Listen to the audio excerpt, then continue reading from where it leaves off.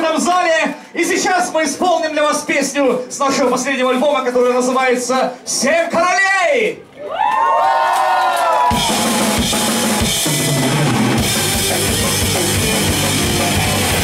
Thank you.